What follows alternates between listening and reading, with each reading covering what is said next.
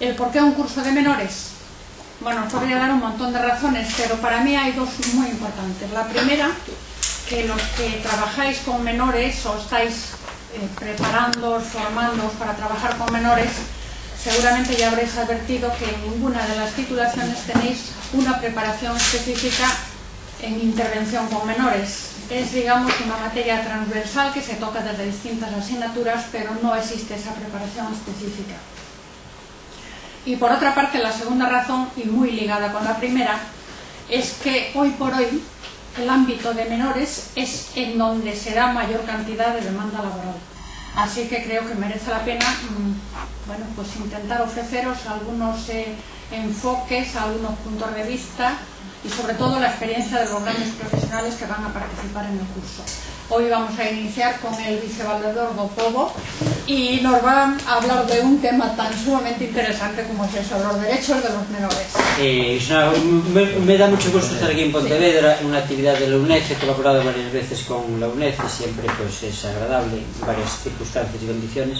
Sobre todo es agradable eh, un curso coordinado por María Senra, que no conocía personalmente, pero sí digitalmente y por referencias, y sé que su coordinación es sinónimo de calidad científica y de honestidad intelectual, lo cual no es poco, lo cual por eso me, me llena satisfacción colaborar con ella en, en esta actividad. ¿no? Eh, yo vengo en calidad eh, de vicebrado do PO, por un lado, pero tamén de profesor de, eh, de Derecho Constitucional de la Universidad, voy a tratar de hacer una aproximación desde esos dos puntos de vista jurídico sociológico, jurídico sociológico. El valedor do povo é lo equivalente en Galicia matizo tamén é al defensor do povo en Madrid ¿no? entonces tenemos un área específica que dedicamos aos menores. Yo soy el encargado del área de menores por lo tanto el encargado de menores de, de Galicia de esa institución. Es un comisionado del Parlamento un comisionado del Parlamento que vigila el funcionamento de la administración autónoma un matiz, un matiz, un matiz previo eh, voy a hablar de los retos actuales de los derechos de los menores, pero desde la óptica española europea, que es una realidad muy diferente a otros sitios. Es complicado para un jurista eh, o para resolver una situación eh, desde el punto de vista jurídico de un menor, eh, su resolución. Es más complejo resolver un problema jurídicamente de un menor que resolver el problema de un mayor. ¿Por qué? De un mayor de edad. ¿Por qué? Porque los menores, por definición, se supone que tienen su capacidad menos desarrollada. Entonces, si el objeto de la resolución eh, jurídica eh, eh, o el sujeto, perdón, de la resolución jurídica no te ayuda con una plena determinación volitiva, eso es mucho más complicado que cuando opera frente a un abogado, porque son problemas contextuales, contextuales no vale no solo es no solo es eh, suficiente arreglar el problema del menor sino que hay que arreglar el problema de su contexto de su familia de su colegio de sus amigos ¿no? porque si no se resuelve el problema del contexto no se resuelve el problema del menor. En España la legislación pues eh, tema de derechos de menores y menores en general está bastante bien desde un punto de vista eh, general está bastante bien. Hay una normativa específica que regula los aspectos de los menores, el Código Civil, eh, la, ley de, eh, la Ley Orgánica de Protección Jurídica Menor, la Ley Orgánica de Responsabilidad Penal de los Menores, la que mal llaman Ley Penal Juvenil, ¿no? es la Ley de Responsabilidad Penal del Menor, las, no, las leyes específicas de las comunidades autónomas, aquí en Galicia hay una Ley de Familia, Infancia y Adolescencia, que eh, se ha, ha, modificado ahora y va a entrar en vigor una nueva, pero que responde a esta idea de regular específicamente los problemas de menores Eh, pero, al margen desta normativa específica, eh, tamén existe bastante normativa indirecta, sectorial indirecta, que tamén regula el tema de los menores, ¿no? O sea, que hai muchas normas. Por ejemplo, por ejemplo, eh, la, ley, la nueva ley de comunicación audiovisual. ¿eh? El año 2010 se aprueba una ley nueva de comunicación audiovisual que dedica el artículo 7 a los derechos del menor, por ejemplo, ¿no? eh, de una forma pues muy exhaustiva. O tamén a Lei de, Soci de Servicios Social Información, que é unha lei del año 2002, tamén establece eh, la protección de la juventud de la infancia como restricción al uso de los servicios por parte de las operadoras de, eh, de telecomunicaciones. O sea que también en el ámbito digital, pues por lo tanto, tenemos normativa específica. Este es el, nudo gordiano, ¿eh? el nudo gordiano de toda la regulación jurídica del menor en, el mundo occidental. Eh, se, mmm, se entiende que los menores de edad no tienen, jurídicamente hablando, la capacidad suficiente para ejercitar sus derechos de forma igual que un adulto. ¿eh?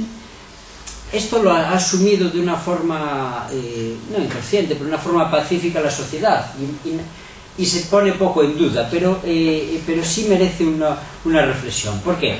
Porque partir de ese presupuesto, que los menores, claro, son menores, no pueden ejercer sus derechos mm, como los mayores. Bueno, partir de ese presupuesto hace que el ejercicio de derechos fundamentales por parte de un menor, de la intimidad, la libertad de expresión, la eh, libertad de circulación, el ejercicio ese, por el hecho de ser menor, sea un ejercicio problemático.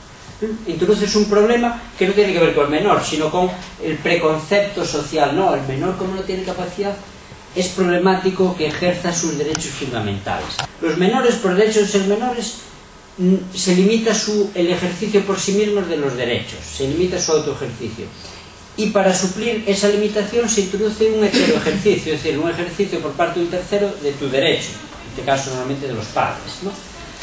Bueno, mm, ¿y por qué? Porque hay una presunción irrevocable. Hay dos tipos de presunciones en derecho, hay unas que se pueden probar en contrario y unas que son irrevocables. No, no, no se puede discutir lo que se llama presunción virgen de jure.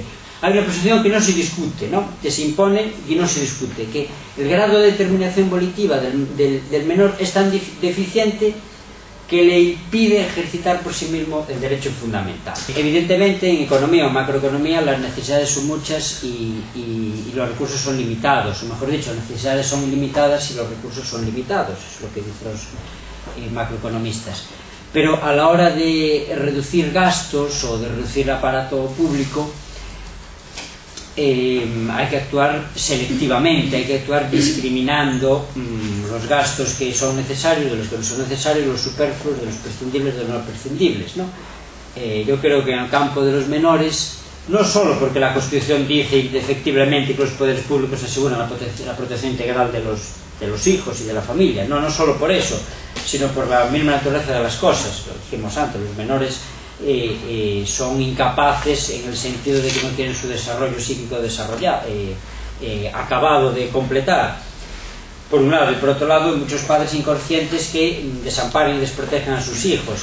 Es indefectible que el poder público intervenga no solo para cumplir con el artículo 39 de la Constitución, sino para cumplir con la lógica de las cosas. La normativa de referencia eh, habla de esto, la Convención de Naciones Unidas de los Derechos del Niño, la Ley Orgánica de Protección Jurídica del Menor, la Carta de Derechos Fundamentales de la Unión Europea, que ya está incorporada en el Tratado de Lisboa, ya es derecho vigente, etc. Todas esas normas internacionales e internas tienen como criterio hermenéutico, decir, interpretativo clave, el interés superior del menor. Problema que nadie lo ha definido. ¿eh? Problema que nadie lo ha definido. Y cada operador, cada servicio de menores, cada juez, cada fiscal, cada asistente social o, o, asistente social que resuelve un problema, que intenta resolver un problema de un menor, tiene que decidir por sí mismo cuál es el interés superior del menor en ese caso.